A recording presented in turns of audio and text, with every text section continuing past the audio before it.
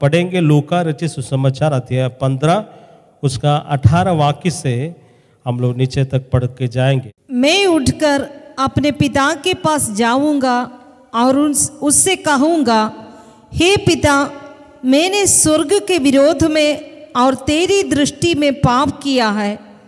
मैं अब तेरा पुत्र कहलाने का योग्य न रहा।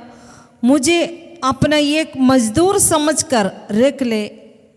वो उठकर अपने पिता के पास चला गया। परंतु जब वह अभी दूर ही था, उसके पिता ने उसे देखा और उस पर तरस खाया। अथा उसने दौड़कर उसे गले लगाया और चूमा। पुत्र ने उससे कहा, हे पिता, मैंने स्वर्ग के विरोध में और तेरी दृष्टि में पाप किया है। मैं अब तेरा पुत्र कहलाने का योग्य न रहा। परंतु पिता ने अपने दासों से कहा, अच्छे से अच्छा वस्त्र शीघ्र निकाल लाओ और उसे पहनाओ और उसके हाथ में अंगूठी, पाँव में जूतियाँ पहनाओ और एक मोटा बछड़ा लाकर काटो कि हम खाए और आनंद मनाए। क्योंकि मेरा ये पुत्र मर गया था, अब जीवित हो गया है।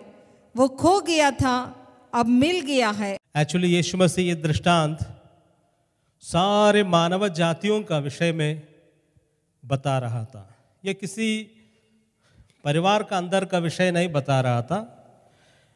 ये पूरा मानव जाति जो कुटुंब है, उसका विषय में प्रभु ने बता रहा था।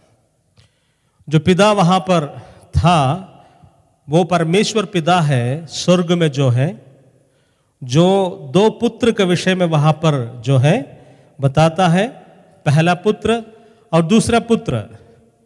और पहला पुत्र इसराइलियों का दर्शाता है और दूसरा पुत्र गैर इस, इसराइली, गैर यहूदियों को दर्शाता है।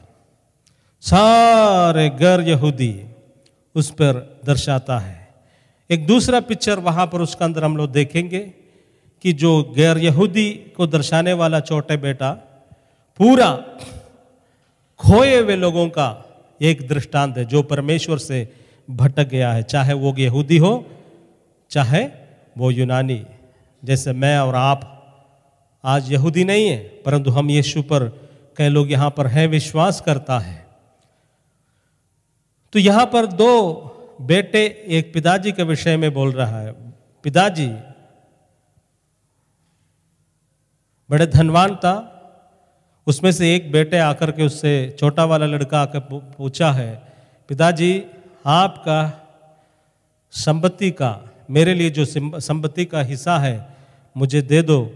मैं इसको ले करके चले जाने के लिए चाहता हूँ। मुझे अपने हिस्सा चाहिए। पिताजी ने अपने बेटे को हिस्सा दे देता है। वो जो हिस्सा जो उसके हाथ में मिल गया, उसको लेकर के वो कहीं चला गया। बाइबल में लिखा हुआ है, वो दूर देश में चला गया है। और उसने पूरा पैसा उड़ाया, मौज मस्ती किया है, मौज मस्ती किया है। और बड़े बड़े कीमती चीज़ों को शायद खरीदला, खरीदा होगा। रोज अच्छे अच्छे कपड़ा खरीदा होगा। रोज बड़े बड़े होटल से खाना खाया होगा उस ढंग से, उसने उसका सारे संपत्ति को बर्बाद करके रखा है। अब उस पिता से कोई रिश्ता नहीं है। दूसरा देश में भी है। लेकिन बाइबल में लिखा हुआ है, अचानक उस देश में अकाल आ गया है। अकाल आने का कारण वहाँ पर खाना पीना मिलना भी मुश्किल हो गया है। किसी के हाथ में कोई भी पैसा नहीं है। धनवान भी कंगाल हो गया। ऐसा कंडीशन में उस देश में अकाल आ गया है। अकाल आने के कारण इसके पास भी कुछ नहीं है। और इसका शायद यदि इसका कोई दोस्त मित्र रहा होगा तो वो लोग भी कंकाल बन गया होगा। एनीवे वहाँ पर लिखा हुआ है वो कंगाल होने के कारण, उसको खाना, पीना भी नहीं मिलने के कारण, उसने मजबूरी से उस देश का एक धनवान के पास गया है। वहाँ जा कर के उसने उससे मांगा, मुझे कुछ काम दे दो, मुझे कुछ काम दे दो। वहाँ पर लिखा हुआ है, और वह जाकर उस देश में तक नागरिक के यहाँ काम में लग गया। उसने उसे खेत में सुअर चराने भेजा। तो उसने बोला कि मेरे पास तो और कोई काम नहीं है। उस समय खेत में सुअर और भेड़ बकरियों का बहुत बड़ा आ, समय था। वहाँ पर लोगों को संपत्ति ऐसा ही गिना जाता था। बहुत ज़्यादा किसी के पास शुअर है। बहुत ज़्यादा जिसके पास भेड़ है बकरी है जानवर के कीमती के अनुसार उसका संपत्ति को गिनाया जाता था। खेत और जानवर इस तरह की बातें। यह शुअर चराने वाला व्यक्ति है, उसके पास शुअर का बहुत बड़ा खेती रहा होगा, इसलिए उसके पास गया। तो उसने बोला कि देखो, मेरे पास और दूसरा कोई काम नहीं है, शुभरों को चराने के लिए आप जाने के लिए चाहते तो जाइए। और इसने, ये लड़का ने सोचा, जिसने पैसा लेकर के गया और बर्बाद हो गया और इसके पास खाना नहीं था। वो लड़का ने सोचा अभी कोई उपाय तो नहीं है कि मैं सुअर चराने के लिए इनके खेत में चले जाएँगे। ऐसे वहाँ पर देख रहा है वो उस खेत में चला गया सुअरों को रखता था। उससे बड़ी उत्खंडा हुई कि वह उस फलियों से जो सुअर का सुअर खा रहे आ, खा रहे थे अपना पेट भरे। और उसे कोई कुछ नहीं देता था। उसने सोचा कि सुअर को जो खाने के लिए देता है फलिया, कम से कम हमको जो सुअर को खाने के लिए देता है फलियों से मुझे भी मिलेगा या फिर हम उसमें से लेके खाएँगे। उतना ही खराब कंडीशन में वो हो गया था। वहाँ गया तो बाइबल में बतलाता है, उस फलियों से जो शुवर खा रहे थे अपना पेट भरे और उसे कोई कुछ नहीं देता था। उन फलियों से भी उसका पेट भरना असंभव हो गया सत्रवाक्य में। परंतु जब वह होश में आया तो उसने कहा, मेरे पिता के कितने ही मजदूरों को पेट भर भोजन मिलता है, पर मैं यहाँ भूखा मर रहा हूँ। मैं उड़कर अपने पिता के पास जाऊँगा और उससे कहूँगा, हे पिता, मैंने स्वर्ग के विरोध में और तेरी दृष्टि में पाप किया है। हालेलुया। मैं अब तेरा पुत्र कहलाने का योग्य ना रहा, मुझे अपना एक मजदूर समझकर रिक ले। ये पोर्शन मैं खास करके आज आपके सामने रखने के लिए चाहता हूँ। वहाँ पर सुवर खाने के लिए जो रखा हुआ था फलिया भी उसको नहीं मिला है तब जाकर के बाइबल में एक शब्द लिखा हुआ यीशु ने बताया था, एक शब्द वहाँ पर लिखा हुआ है, तब उसको होश आ गया है। होश आ गया बोले होश आ गया, होश आ गया। कभी कभी हम लोग को भी अभी होश आया, बाप रे बाप। तो वहाँ पर उसने बोल रहा है कि उसको सुअर का खाना तक नहीं मिलने का स्थिति बन गया है पेट पूरा खाली है, काफ़ी दिन से परेशान है। और कहाँ जाएँगे? इस कंडीशन में उसके सामने एक भी दरवाज़ा नहीं है बेचने का। अंतिम दरवाज़ा भी बंद। तब उसने, बाइबल में यीशु ने कहा, तब उसको होश आ गया। बोले होश आ गया। होश आ गया। मुझे भी होश आना है। बोले मुझे भी होश आना है। हालेलुया। तो ये होश आना, उसका दूसरा एक शब्द है, पाप का बोध। बोलिए, पाप का बोध। बाइबल में लिखा हुआ, जब पवित्र आत्मा आएगा तो वो हमें पाप का बारे में बताएगा, पाप के विषय में बताएगा। वो हमें पाप के विषय में बताएगा और हमें पाप का बोध देता है। इधर ध्यान दीजिएगा नॉर्मल लाइफ में हमारे अंदर में जो हमने कभी प्रभु के पास नहीं किया है, ना हमने कभी प्रभु के वचन पर ध्यान दिया है, ऐसे एक व्यक्ति का अंदर यह असंभव है कि उसका अंदर पाप का बोध रहे। या फिर कुछ ऐसा भी हो सकता है कि प्रभु के साथ में चलने वाला व्यक्ति रहा होगा। प्रभु के साथ चलता था एक समय, लेकिन बीच में पाप में चला गया है। वो भी ऐसा बन सकता है, उसका भी पाप के बोध चले जाता है। पाप के बोध चले जाना मीन्स वो होता है कि दूसरा एक शब्द बाइबल में ही बताया हुआ है, अंतकरण काम नहीं करना रिस्पॉन्स नहीं करना। आपने कभी हॉस्पिटल में गया है या फिर आप अपने परिवारों में या किसी पड़ोसियों में या कोई बंधु मित्रों के बीच में आपने कभी देखा होगा, किसी घर में गया है तो कोई पैरलाइज्ड है लकुआ मार करके पड़ा हुआ पलंग में, हाथ पैर दोनों नहीं चल रहा है, ज़िंदा है तो ज़िंदा है, सब कुछ नाक से दे रहा है। ज़िंदा है तो पूछिएगा तो ज़िंदा ज़रूर है, लेकिन हाथ नहीं हिलता है, पैर नहीं चलता है उनका होश चला गया है। बोध नहीं है। ज़िंदा है ज़िंदा है, परंतु काम करता है, नहीं काम कर पाता है।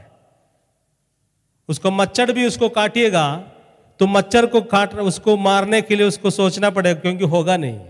दूसरा कोई बगल में बैठेगा, वही उसको मच्छर को मारेगा। वही कंडीशन है। वो कंडीशन मनुष्य का दिल के लिए भी होता है। हमारा अंधकरण भी ऐसा काम नहीं करने का सिचुएशन में चले जा सकता है। क्योंकि सच्चाई और पवित्रता, प्रेम, न्याय और प्रभु का अनुग्रह हमारा अंदर से पूरा पूरा चले जाता है और हम परमेश्वर को आवाज़ सुनता है, परंतु सुनने से भी हम नहीं पहचान पा रहा है। सुनने से भी हम उस पर विश्वास नहीं कर पा रहा है। सुनने से भी हम एक्शन नहीं ले पा रहा है। हमारा मन के लिए समस्या बन रहा है। हमारे अंदर में ये भावना तो है कि हम अच्छा चीज़ करें, लेकिन नहीं हो पाता है। सुनने से भी हम हर जाता है। यहाँ पर बोल रहा है कि ये व्यक्ति का अंदर से पाप का बोध चला गया था, लेकिन ज़िंदगी का ऐसा कंडीशन में चला गया तो वहाँ पर प्रभु का वचन बोलता है, उसका होश वापस आ गया है।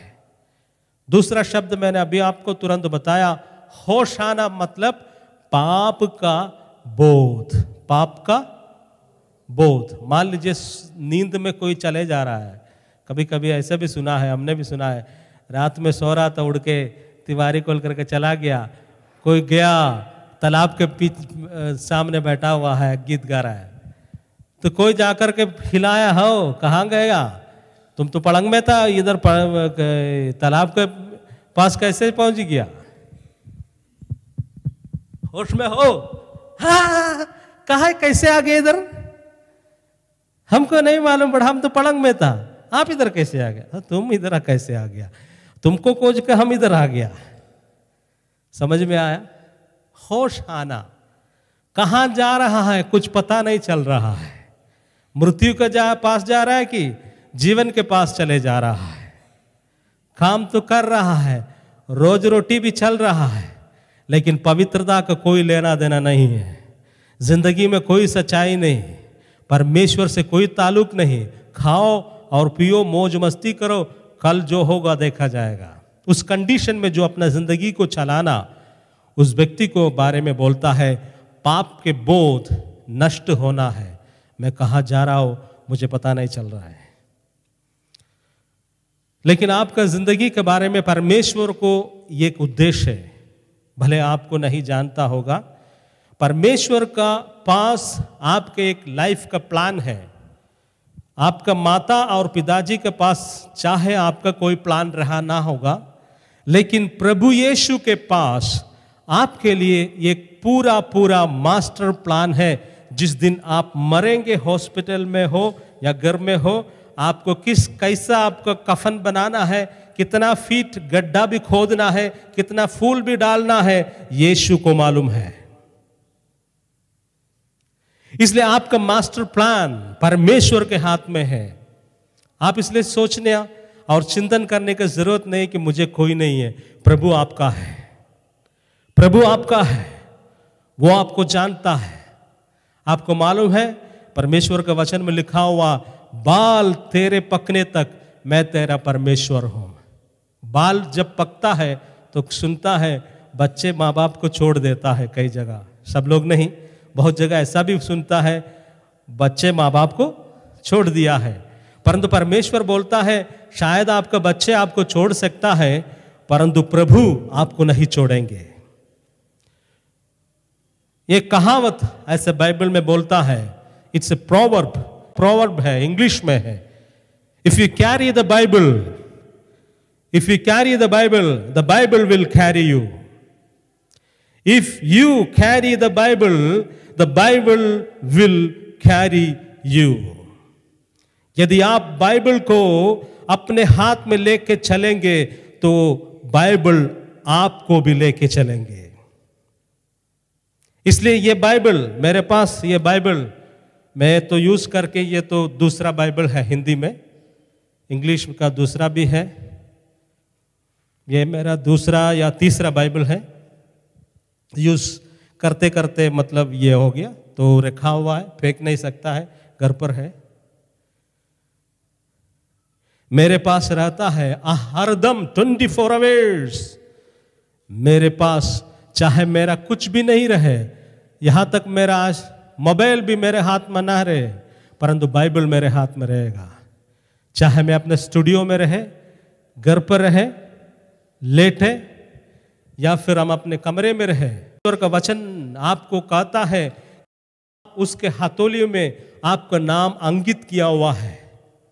आपका नाम को परमेश्वर अपने हाथ में लिख कर रखा हुआ उसने अंकित किया है। आप परमेश्वर की दृष्टि में अनमोल है, प्रेशियस है। चाहे दुनिया में कोई आपको स्वीकार नहीं करे परमेश्वर आपको स्वीकार करेंगे। हालेलुया। दाऊद ने यहाँ तक इसराइल का राजा था, दाऊद ने कहा, यहाँ तक मेरा माँ, पिताजी मुझे छोड़ दे, परंतु मेरा यहोवा मुझे नहीं छोड़ता। हालेलुया। इसलिए कई लोग टारगेट रखता है बच्चा बड़ा हो जाएगा, इंजीनियर बनेगा तो हमको खिला देगा। कोई ज़रूरी नहीं है बच्चा बड़ा हो जाए और इंजीनियर बने। इंजीनियर बनने के बाद आपको खिला दे।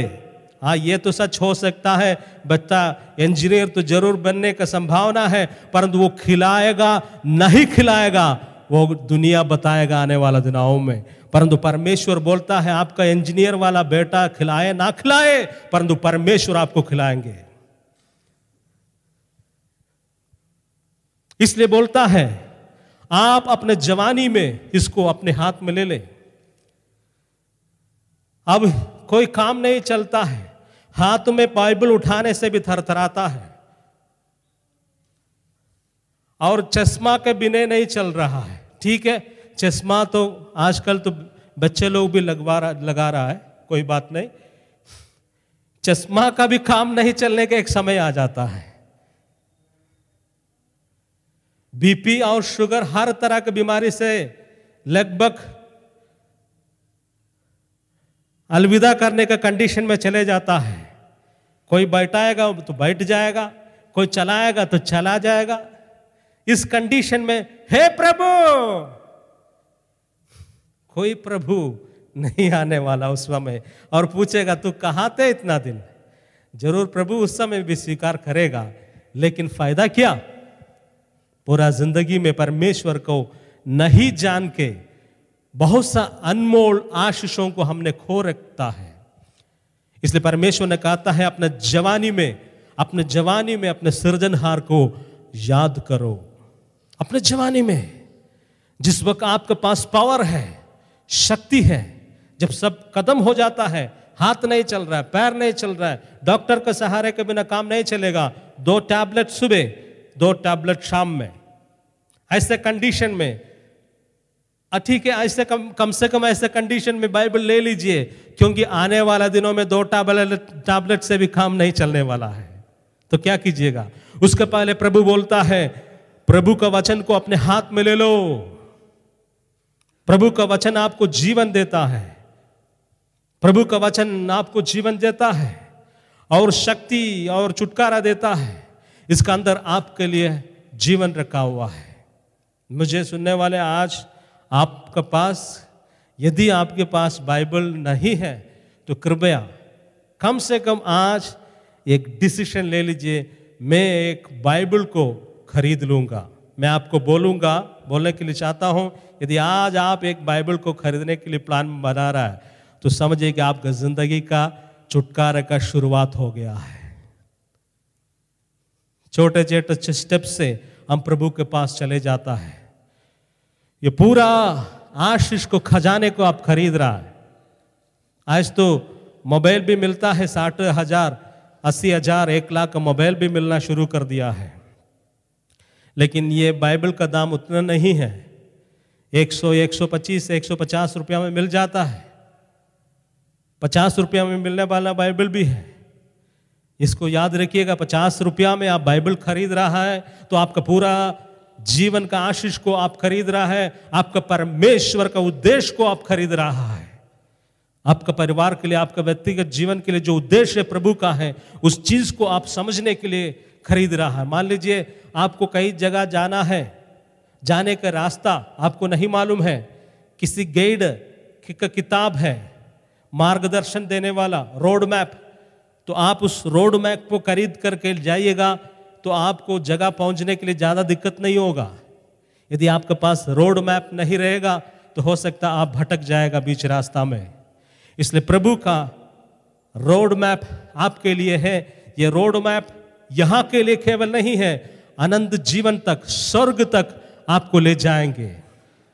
परमेश्वर इसलिए जीवितों और मृतकों का परमेश्वर है। वो आज के लिए केवल नहीं है आप मरने के बाद भी वो आपका प्रभु है। जिस दिन आप कब्रस्तान में चले जाएँगे, वो आपके संग चलेगा। वो आपका संग चलेगा। वो आपके संग चलने वाला परमेश्वर है। हालेलुया। कई लोग ऐसा अंधा होकर के बोलता है कि सब कुछ मिथ्या है। ऐसा कुछ नहीं है भाई, बहन, सब कुछ मिथ्या नहीं है। एवरीथिंग इज़ रियल सब कुछ वास्तविकता है। हम वैसे आँख बंद करके बोलेगा, अरे, सब कुछ माया है, बहुत आसान है ऐसे बोलना। सब कुछ माया नहीं है एवरीथिंग इज़ रियल सब कुछ रियलिटी है। ये किताब रियल आप रियल है। आप ये नहीं बोल सकते, ये पृथ्वी माया है। नहीं, पृथ्वी रियल है, वास्तविक है। वो हमें खाना देता है। हम दान को खाता है खाता है। सब कुछ यहाँ से है। हालेलुया। होश जब आया तो उसने सोचने लगा मैं अपने पिताजी का घर से भाग के आया। कितना अच्छा घर था। मेरे पिताजी कितना बार हमको बोला कि ना जाओ बेटा, ना जाओ, यहीं पर रह जाओ। तुमने, हमने उसका बात को माना नहीं है। ज़बरदस्ती घर से निकला है, पैसा लेकर के भागा है। और मेरा पिताजी के घर में कितना मजदूर है, पेट भर के खाता है, उसके बाद में फेंक देता बहुत सा खाना उसका बच जाता है। इतना सारा खाना उनका मजदूर को मिलता है। यहाँ पर तो हम बैठे होकर के मर रहा है।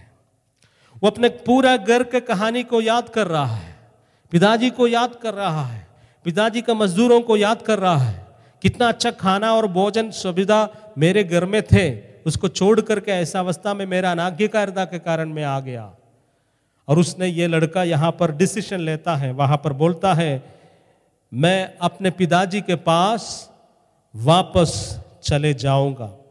ये होश आने के बाद ये लड़का क्या करता है, मैं उड़कर अपने पिता के पास जाऊँगा और उससे कहूँगा, हे पिता, मैंने स्वर्ग के विरोध में और तेरी दृष्टि में पाप किया है।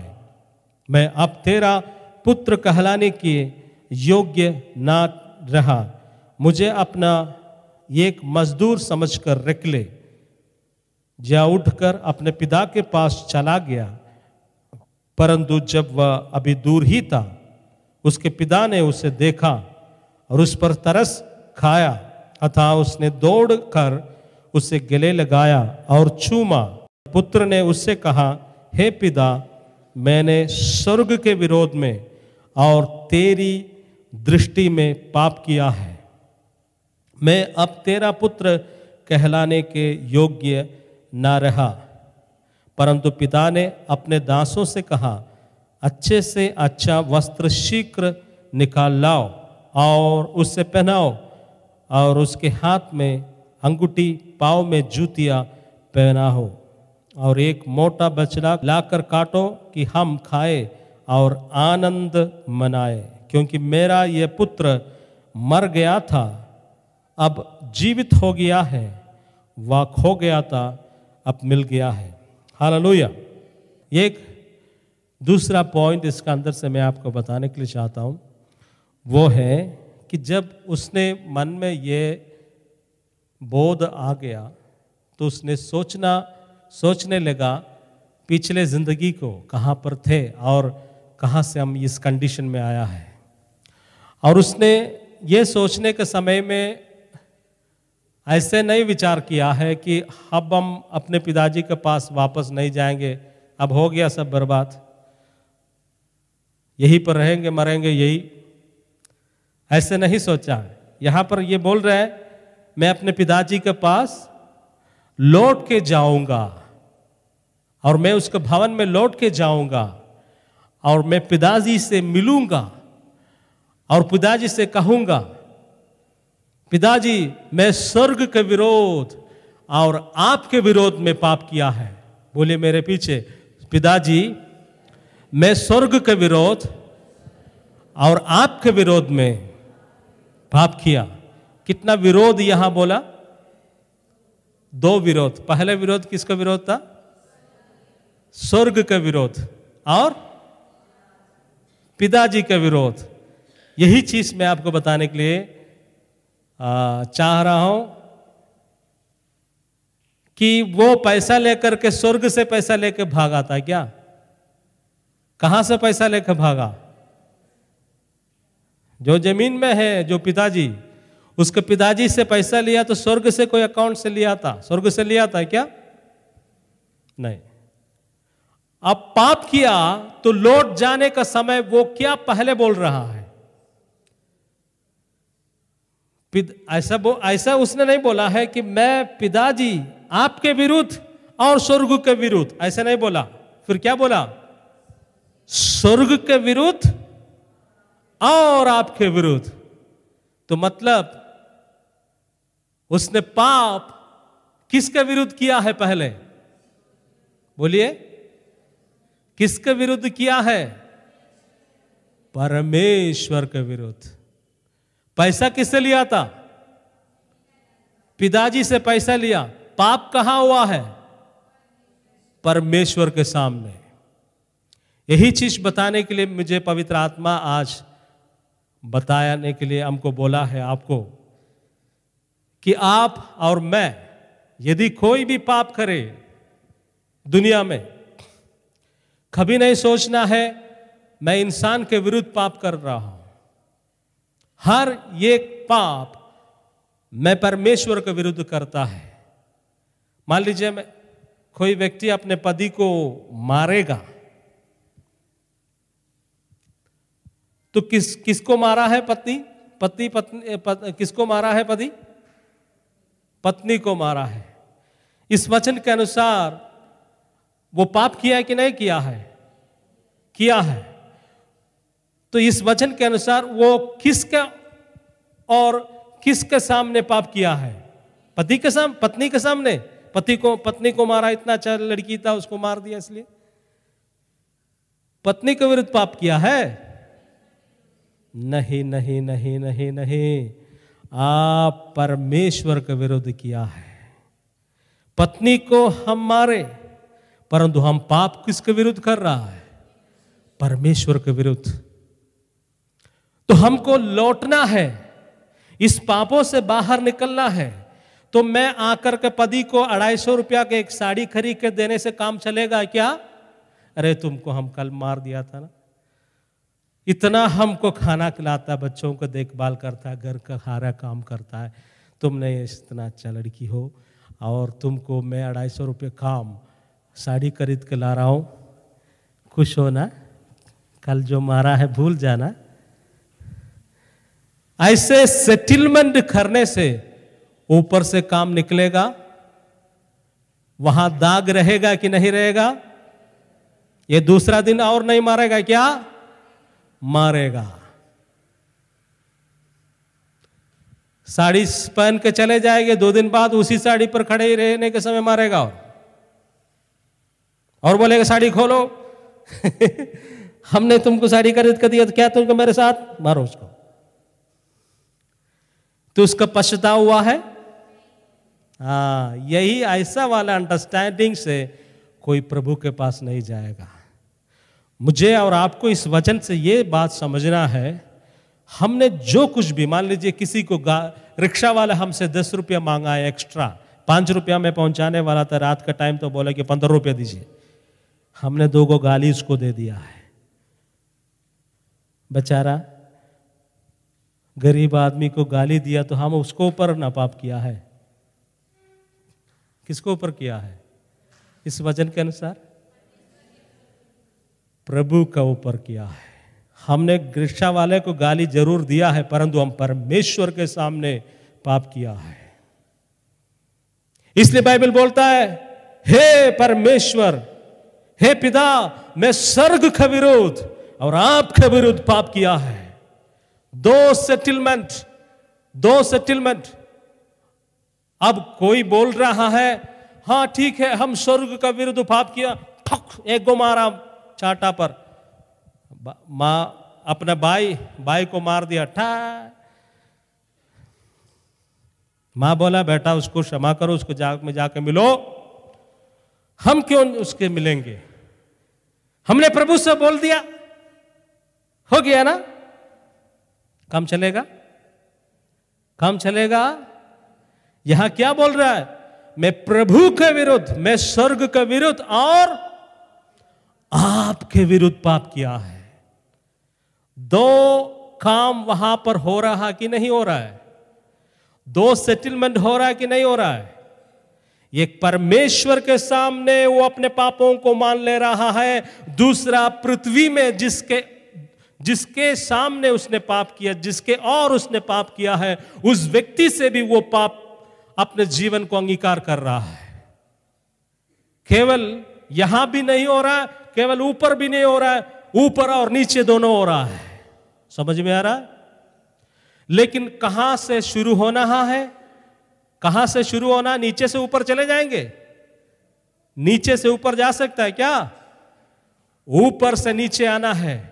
पहले मुझे और आपको मालूम होना यदि हम अपने शरीर से इंद्रियों के द्वारा मुँह के द्वारा शारीरिक जीवन में भौतिक जीवन में पारिवारिक जीवन में काम के क्षेत्र में स्कूल और कॉलेज में ज़िंदगी के कोई भी क्षेत्र में यदि हमने कोई भी पाप किया है दो गो मार्क ज़्यादा मिलने के लिए दू, दूसरा लड़का का लेकर के हमने कॉपी कर दिया है गलत सर्टिफिकेट बनाया नौकरी के चक्कर में एडमिशन नहीं मिल रहा तो उल्टा सीधा लिखवा दिया है। और वहाँ पर तो बैठा हुआ सब लोग हर तरह का काम करने के लिए। टेबल के नीचे हाथ बढ़वाया, बढ़ा दिया, घूस लेकर के अपने काम निकाल रहा, कौन देख रहा है? परमेश्वर देख रहा है। Hallelujah hallelujah.